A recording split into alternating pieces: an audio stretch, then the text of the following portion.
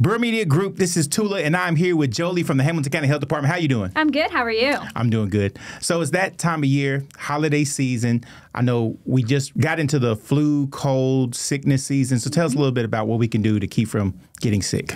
Absolutely, it is that time of year. We're spreading cheer. We're spending loved, spending time with loved ones and things like that. But it's also the time of year where we're spreading illnesses and we're spreading germs. And it's important for us to remember the things that we can do that are super simple to help us stay healthy, such as washing our hands very frequently every time you go to the bathroom or you're hanging out with people, covering your mouth when you're coughing or sneezing, and then of course if you're sick, stay home. or you know if you have a fever, please stay home until you're fever free for 24 hours. And of course we are offering the flu and COVID vaccine at all of our locations.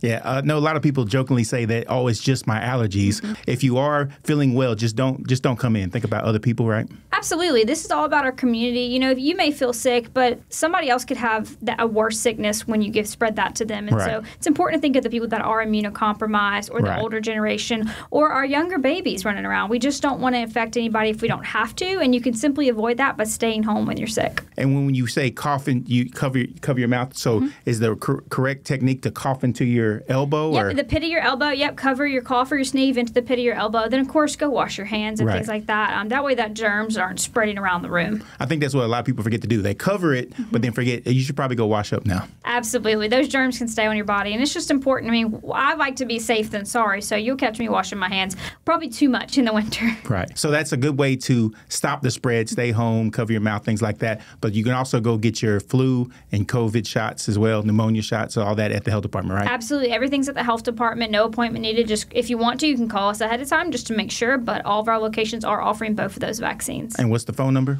423 209 8000. And they can also go to the website to get more information? Absolutely. Okay, thank you so much. Thank you.